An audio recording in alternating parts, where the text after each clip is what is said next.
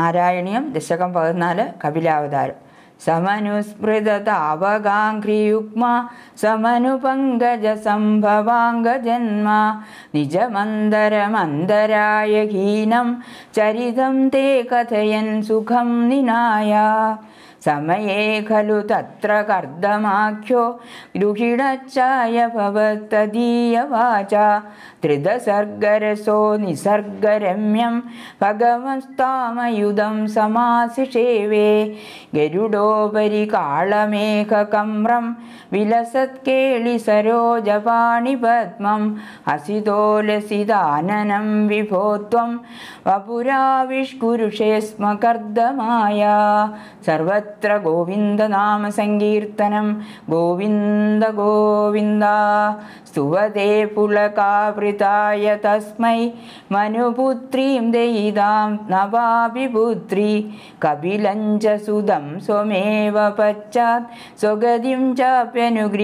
निर्गतो समनुषतरूपया मखिष्या गुणवत्या सुदया च देवहूत्या भवदीरिद नारदोपदिष्टा समगाकर्दममागति प्रदीक्षम् मनुनोपकृतां च देवहूतिं तरुणीरत्नमवाप्य कर्दमोऽसौ भवदर्चन निर्भृतोऽपि दृढशुश्रूषणया ददौ प्रसादं स पुनस्त्वदुपासनप्रभावात् दयिता कामकृते कृते विमाने वनिताकुलसङ्गुलो नवात्मा व्यहरद्देवपदेषु देवहूत्या शतवर्षमथ व्यतीत्य सोऽयं नवकन्यासमवाप्य धन्यरूपा।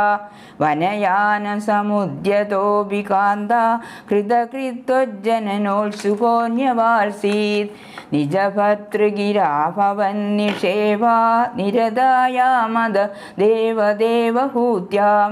कपिलस्त्वमजायथा जनानां प्रथयिष्यन् परमात्मतत्त्वविद्यां सर्वत्र गोविन्दनामसङ्कीर्तनं गोविन्द गोविन्द वनमेयुषि कर्दमे प्रसन्ने मदसर्वस्वमुपादिशञ्जनन्यै कपिलात्मकवायुमन्दिरेश त्वरितं त्वं परिपाहि मां गदौखात् सर्वत्र गोविन्दनामसङ्कीर्तनं गोविन्द गोविन्द